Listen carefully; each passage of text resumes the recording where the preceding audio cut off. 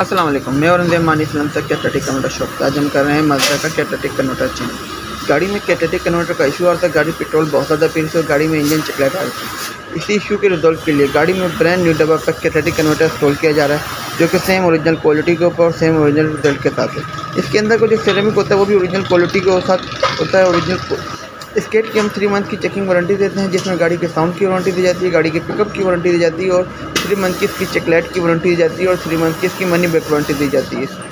Cat को weld करने के लिए मिग वेल्डिंग का इस्तेमाल किया जाता है, ताकि जो केट की क्वालिटी और मैार है वो बरकरार रहे और केट ख़राब ना हो, उसके अंदर का सेरेमिक भी महफूज रहे।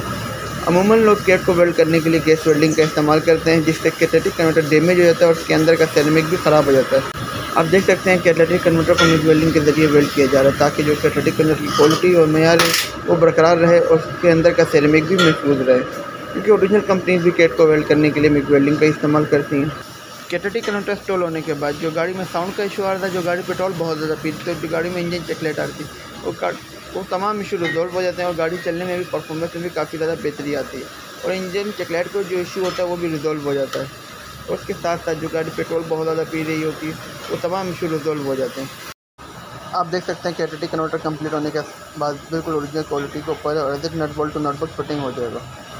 अगर आप भी अपनी गाड़ी के कैटेटिक कन्वर्टर की वजह से परेशान हैं आपकी गाड़ी पेट्रोल बहुत पीती है, या आपकी गाड़ी में चिकलाइट आ रही है तो आज ही हमारे दिए गए नंबर पर रब्ता करें। या हमारी वेबसाइट पर डायरेक्ट विज़िट करें, हमारे